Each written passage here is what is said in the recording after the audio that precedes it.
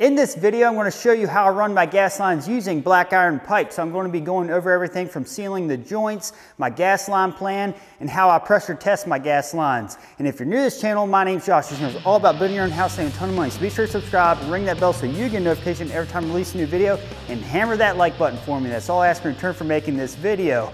So we got a lot to do today, so let's get started. Disclaimer. Gas lines can be extremely dangerous if not installed properly, so always hire a professional if you do not know what you're doing. In my jurisdiction I'm building in, I can do my own gas lines as long as they get thoroughly inspected and I apply for the proper permits. So be sure to check your local building codes when doing so. And this video is for entertainment purposes only. Let's get started. Some of the tools and supplies I'll be using are these pipe wrenches. I'm going to be using two of them to tighten up my fittings. These are what's called nipples. They're just short black iron pipes. Here's a half inch, here's a three quarter. And these are elbows that are going to be used to make 90 degree turns. These are couplings to join two pipes together. This is a reducing elbow and this is just a standard half inch elbow.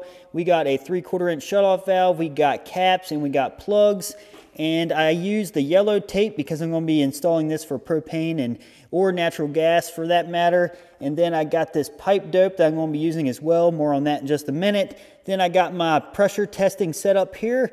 And then I got some plastic strapping that I'm going to be using to hold the pipe. I use a wire brush in case there's a joint that has a little corrosion on it that I can just clean the threads quickly my impact driver to secure the pipe using the strapping, and here's just some random length pipes I'm going to be using. Here's that pipe dope up close. The actual name's pipe sealant, or some people call it joint compound.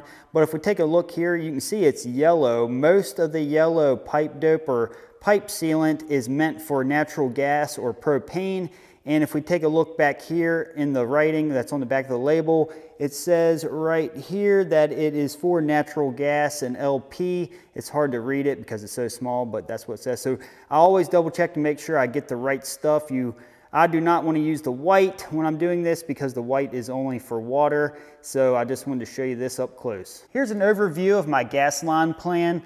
So this is just a quick outline of my house roughly that I'm building now. So right here's the fireplace, right here's the range, and right here's where my propane tank's gonna be sitting. So as you can see, I got a line going from the fireplace by the range and then out to the propane tanks. And what I'm doing here is I'm just going to stub up through the floor using half inch pipe because I'm doing a trunk and branch run. So I got three quarter inch pipe, that's the dotted line. And then the circles is where the half inch pipe is going to stub up through the floor to pick up the fireplace and range. And then I'm going to exit the house with the three quarter inch pipe and there is where I'll be hooking to my propane tank.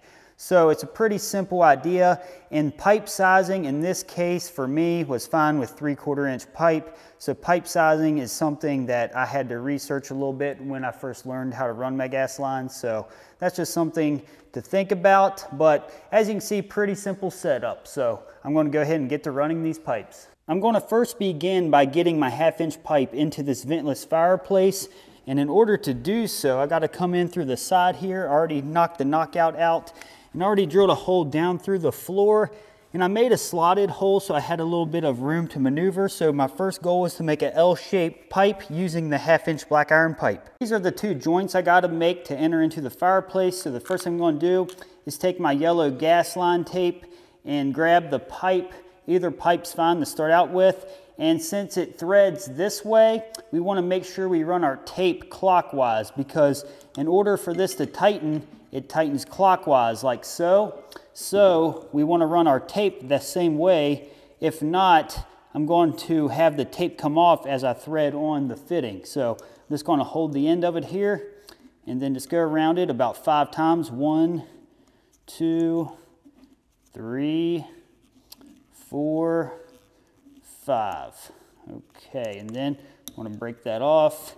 Then always just give it a little twist. So that looks good. And now what I do, I'm going to go ahead and take my pipe sealant and I already stirred this up well so it's ready to go.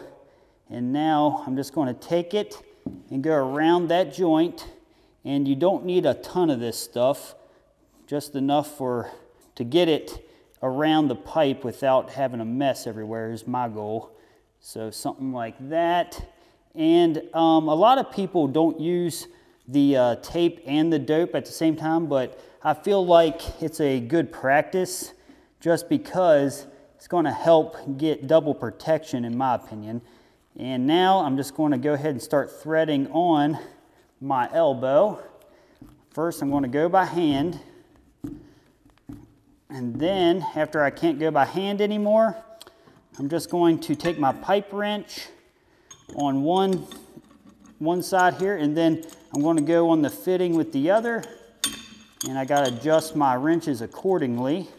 Actually, looks like I need to go like that. Now, I'm just going to go ahead and tighten this up. And I try not to tighten it super tight to where it's going to break the fitting. My goal when I do these is just make sure it's really snug. Because if you keep tightening, I may run the risk of breaking the pipe or the fitting. All right, that feels really good. And now, that's my first joint I'm gonna make. And now I just gotta do the same with the other pipe. Again, I'm gonna go ahead and go clockwise with my Teflon tape. Five rotations around. So one, two, three, four, five. Okay. Now I'm just going to take a little bit of my sealant. Now I just got to thread it onto this. Again, always use my hand as far as I can go. And then, now since I got a nice handle here, I don't need a wrench on this side. I just need to grab the pipe like so. I'm just going to tighten my pipe to where it's snug and not so tight to where it breaks the fitting. As you can see, it doesn't take much of that sealant to give you an adequate amount. We got some left over down here. So that's all there is to uh, making a joint. Pretty simple. And now I just gotta install this into the fireplace and go down the crawl space. All right, so as you can see, I got the pipe in and it's going right into the fireplace. So now on this side, I'm just going to install a plug here, or a cap I should say, so that way I can pressure test the system after it's done. So when it comes to this, I'm just going to use the tape because I gotta remove this later to install the gas logs. So what I'm gonna do, I'm just gonna go ahead and wrap this around just a handful of times. Like I said, five is recommended for me. So I'm gonna go ahead and do that here now. And the reason why I couldn't install this cap beforehand was because it wouldn't fit in through this hole if I did. So that should be good. Now I'm just gonna go ahead and tighten this on by hand first and then just give it a couple turns here with my pipe wrench. And again, I'm not going to do super tight, just enough to more or less say I did. Okay, that should be good. I'm down here in the crawl space. Here's that pipe that stubbed down from the fireplace. And now what I'm going to do is use this reducing elbow and thread it onto the half inch and it's going to go to three quarter. And I'm going to connect it the exact same way that I connected the fittings upstairs.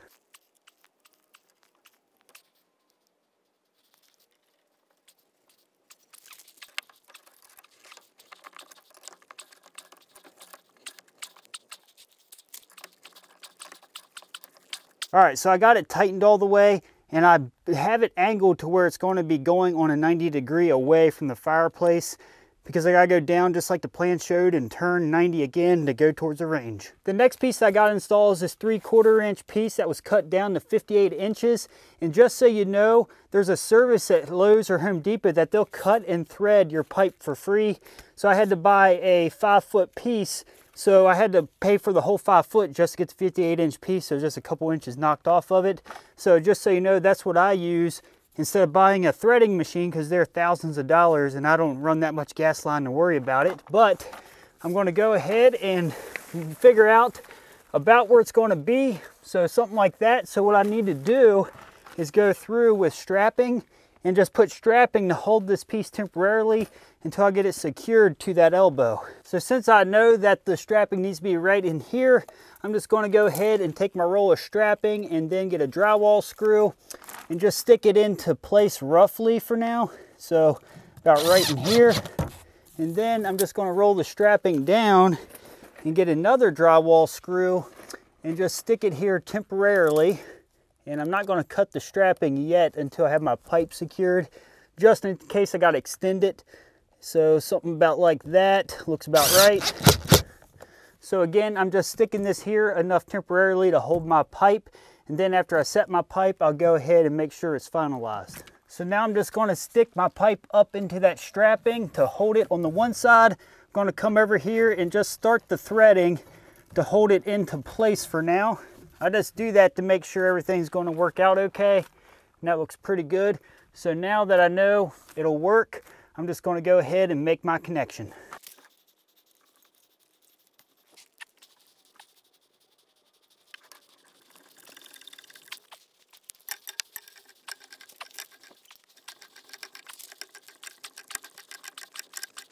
So now I'm over here at the other end. I'm going to make sure the pipe looks nice and square and sitting at the right height where I want it.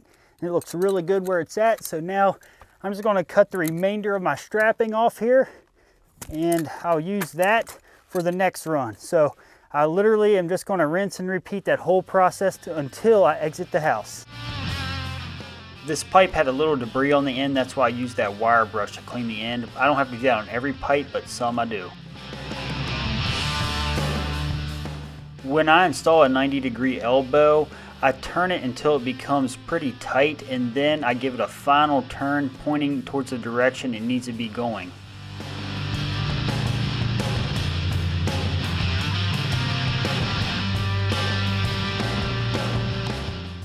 Oftentimes I like to dry fit my pipes together first to make sure everything lines up properly and it's going to hit the targets I'm trying to hit such as the gas range and then I'll go ahead and make my final connections.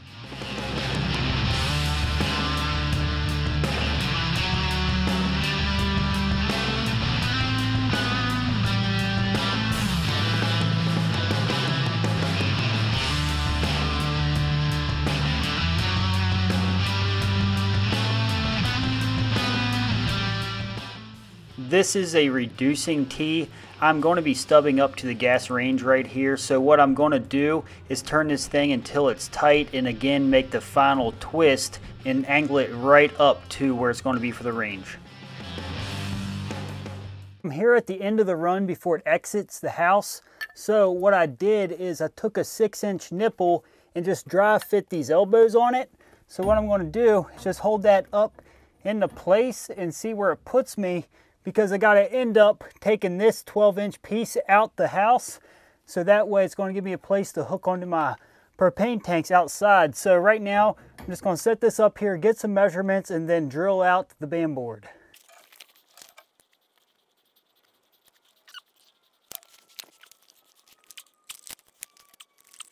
Now I'm going to take this inch and a quarter drill bit and drill out through the house. It should be plenty big enough to get that pipe through.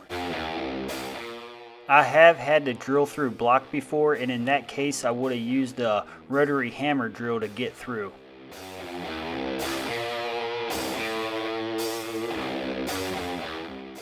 This elbow was easy to install. All I had to do is install the nipple onto the elbow and then just use the nipple to turn and tighten up the elbow.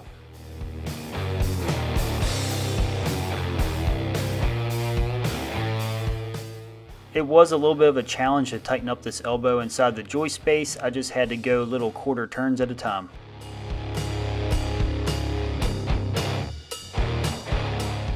All right, as you can see, that gives me a nice run to the outside. Nothing wrong with that. Now I just hand tightened that because I couldn't get my wrench up in there very well. So I'm going to go outside and finish the final outside before I pressure test it.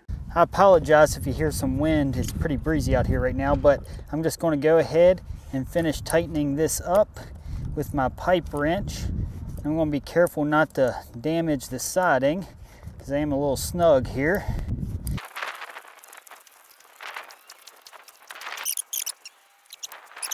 And then my final out here for now is just going to be this shutoff valve.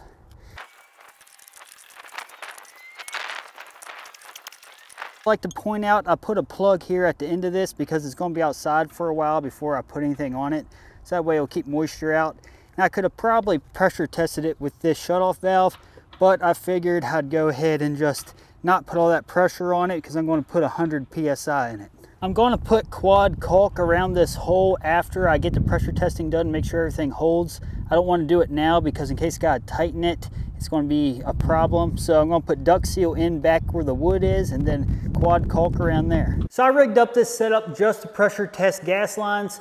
And what it is, it's a one inch head that has a place to put your valve stem and then it has a pressure gauge right here. And then I have this reducer on the bottom. It's a bushing that reduces that one inch down to a half inch. And here is the half inch pipe that we stubbed up below. All right, so I'm gonna pull this plastic off the pipe and I kept that on there so wood chips didn't go down into the pipe when I was pushing up through. On this connection, I'm just gonna use tape. I'm not gonna use the pipe dope just because, like I said before, this is just temporary. So I just need it for the pressure test and I'm gonna be removing it. So we just wanna wrap it around there a few times. Now I'm just going to install this pressure gauge on here. Okay, so now I'm going to go ahead and put pressure in it. I got my air compressor filled up with 100 PSI. So now I'm going to go ahead and fill this baby up with pressure.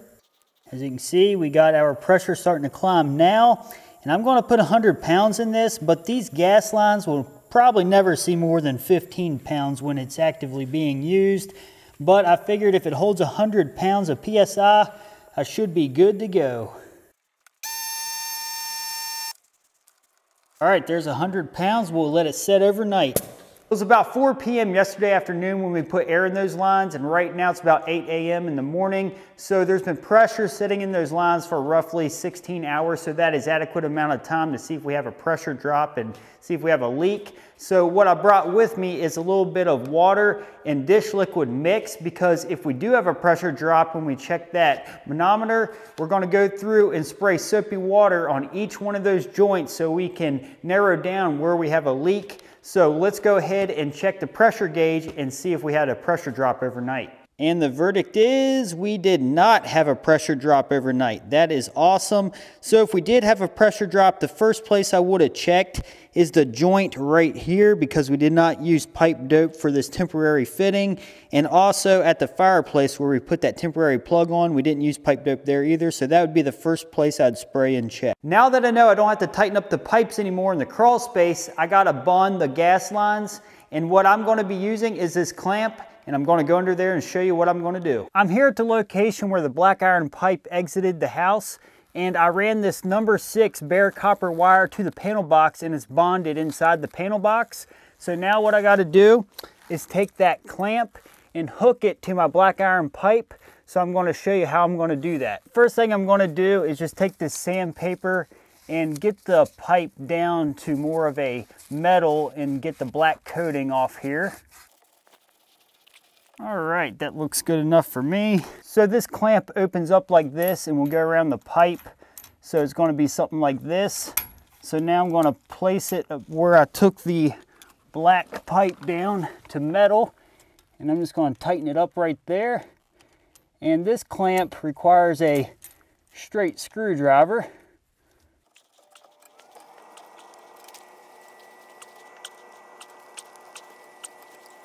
Now what I'm gonna do is take my copper wire and place it inside of that terminal on the clamp. I'm just gonna fish it through a few inches there. Then I'm just gonna kind of bend it up out of the way, something like so. And now I'm gonna go ahead and tighten that down. And now I'm just gonna bend this copper wire back something like so.